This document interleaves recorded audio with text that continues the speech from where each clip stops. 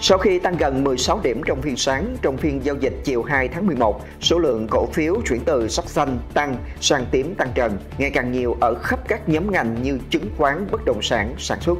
Cụ thể, nhóm chứng khoán có VIX, VCI, VND, FTS, ORS, CTS, AGR, VDS tăng kịch biên độ. Các cổ phiếu khác cũng tăng mạnh như SSI tăng 6,45%, BSI tăng 6,76%.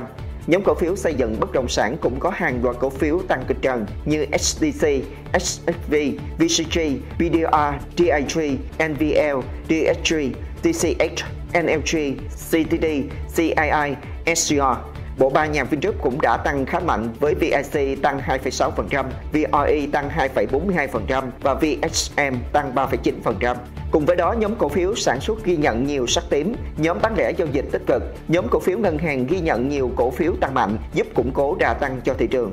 Đóng cửa phiên giao dịch VN Index tăng 35,81 điểm, tương đương 3,44% lên 1.045,47 điểm với 516 mã tăng, chỉ có 32 mã giảm và 26 mã đứng giá. Chốt phiên tại sàn Hà Nội HNX Index cũng tăng 8,32 điểm, tương đương 3,97% lên 217,97 điểm với 176 mã tăng, 39 mã giảm và 28 mã đứng giá. Thanh khoản cải thiện với tổng giá trị giao dịch toàn thị trường gần 17.500 tỷ đồng.